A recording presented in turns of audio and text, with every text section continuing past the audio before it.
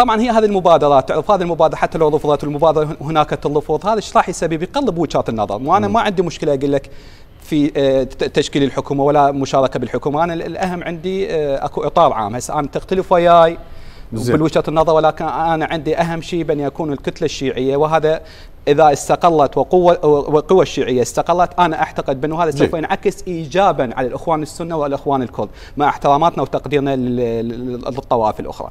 لذلك نقول بأنه هذه التقارب وهذه وجهات النظر سواء كان باللفظ أو القبول أنا أعتقد سوف يقرب المسافات المرحلة القادمة ستش... يعني ستشهد ربما هذا تحليلي. نوع من التقارب ربما يساعد على الجانب الإيجابي في استقرار الوضع السياسي.